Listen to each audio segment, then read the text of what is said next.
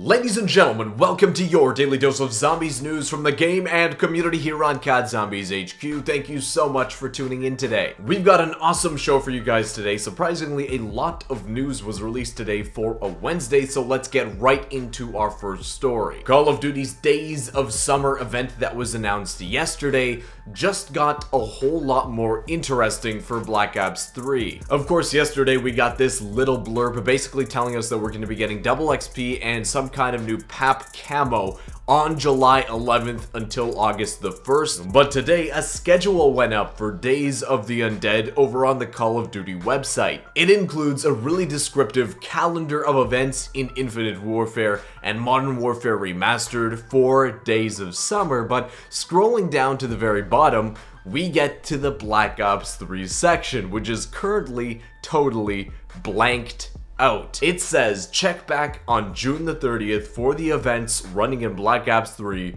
from June 27th to July the 3rd, so only the latter half of that week will be represented. And for the two weeks following that, we're directed to check back on July the 4th and July the 11th in order to see what events are running that week in Black Ops 3. Now, I'm not really sure what to make of this, guys. I, I don't want to overhype something that we obviously don't know about yet, but the fact that they already announced double XP and this limited Pack-a-Punch camo arriving on July the 11th to August the first means what could they do before that in the two weeks previous? I know a lot of you guys have been asking about the M1911 and AK-74U. I actually did a whole video talking about when it's likely those would be added. So if you haven't seen that video, definitely go ahead and watch it. It'll be linked using the eye icon and down in the description. But linking back to the Days of Summer schedule, June the 30th, the first day that we're going to be seeing the schedule for Black Ops 3 is the day that we predicted is the most likely for the M1911 and AK-74U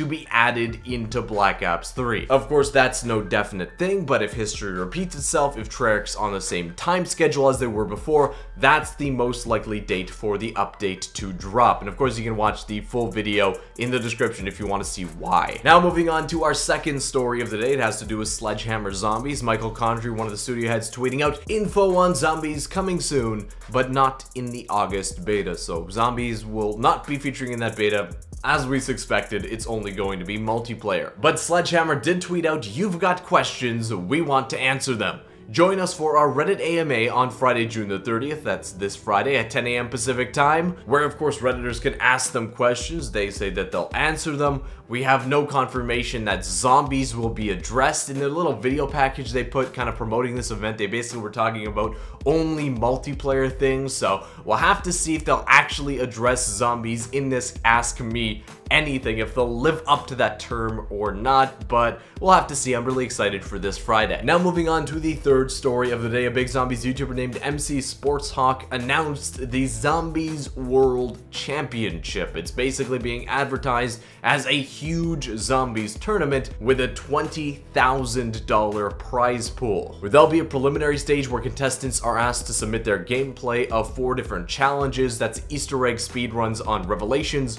Gorod Krovi, a first room challenge on Origins, and a no jug, no gobblegum challenge on Verrückt. The people that are first in their category, meaning that they got to the highest round, apparently will be flown out to Los Angeles to compete in what they're calling the main event, where they'll team up with a bunch of zombies YouTubers in order to compete in this main event challenge in order to win the prize money. Pre-registration is online right now and it comes with a buy-in fee of $15 if you want to participate. It's definitely really cool, nothing of this size and scale has been attempted before, apparently it's also backed by Activision and Treyarch as sponsors as well. It seems what they're trying to do here, the main event might be pretty hard to pull off well, but I'm rooting for these guys, I'm hoping that everything goes well for them. You can find the link to the Zombies World Championships website down in the description. And rounding off the news today for the few of you that still care about Infinite Warfare Zombies, Infinity Ward tweeted out, We know that you're eager to hear more details about DLC 3. Stay tuned tomorrow for more info. Hashtag Infinite Warfare, IW Zombies. We expect it's either going to be some kind of information release or the teaser trailer. Well, that wraps up the news today, guys. I hope you enjoyed it. If you did, be sure to smash that thumbs up button down below. Subscribe to the channel if you aren't already. And hey, it would be freaking awesome if you can drop me a follow on Twitter. Link is down in the description. I love interacting with you guys on that platform as well. Anyways, guys, that wraps up the news today, and I'll see you with another Zombies news video tomorrow.